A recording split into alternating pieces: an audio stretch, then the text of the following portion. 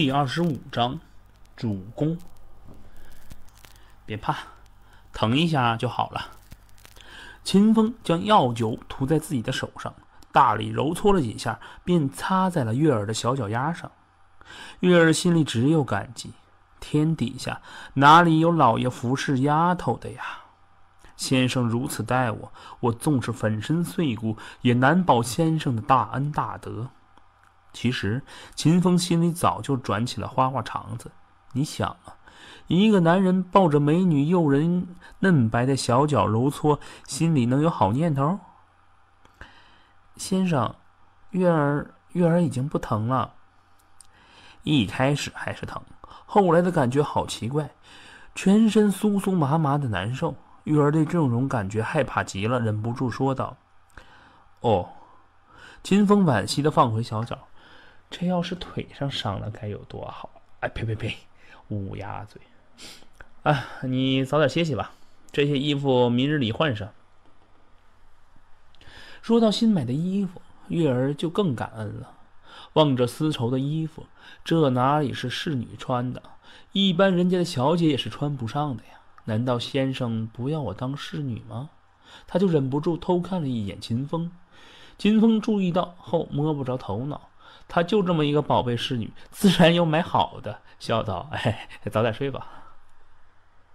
能够在秦先生家里，前世修来的福气呀。”月儿可不会娇气自己，强撑着起身。月儿服侍先生歇息。哎呀，脚上一疼，又坐了回去。哎呀，别乱来了，这伤也就一两天的事儿，乱来是伤筋动骨，时日可就长喽。我也不在这一时。你好，休息。秦风说完，也就离开了。一夜无话。到了第二天，秦风起身的时候，便听到院子里传来哗哗的声音，急忙起身查看，原来是早起的月儿在打扫院子。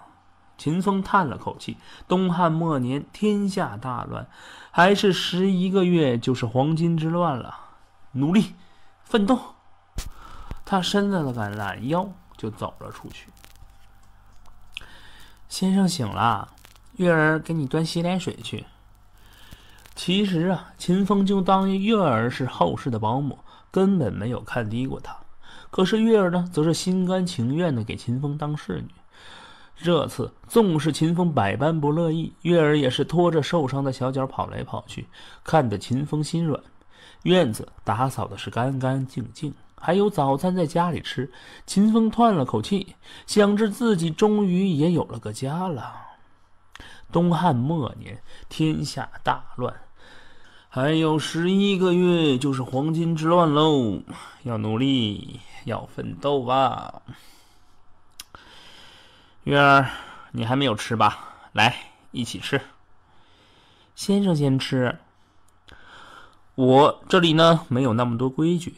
你将这一进院子打扫的干净可不容易，快来一起吃吧。那好吧。小月儿坐了下来，满心欢喜，能够跟主人一起进餐，怕是大汉朝只有自己了吧？暗地里不仅吐了吐小舌头。城北一户人家，母亲，我去了。周山服侍完老母吃饭，收拾了一下衣服，说道：“我儿，此去新主人家里一定要用心做事啊！你说的那个人叫秦风，先前邻居那里听到过，说是有一个叫秦风的玉成，是个难得的好人，也不知道这个秦风是不是你说的那家新主家。”人家救了我们孤儿寡母的危难之际，你一定要当恩人一般对待呀。”年迈的周母说道。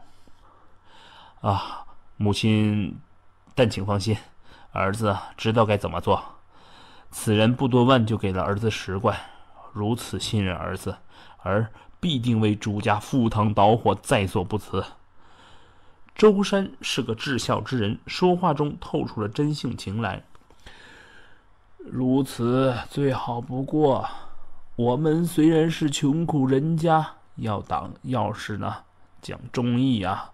此去一定要为主家好好不做事，不然别人能饶了你，我也饶不了你。”周母冷着脸训斥道：“是。”周山拜了拜，便辞别了老母，离开了家。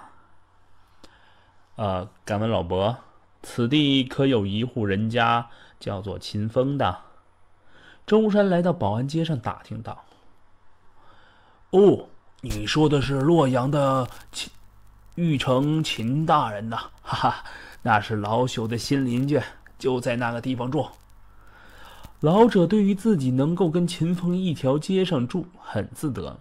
道：“哎，秦大人可是难得的好官，老朽活了这六十有五了，在这洛阳都城，从来没有见过一个人能够秦跟秦大人相比呀。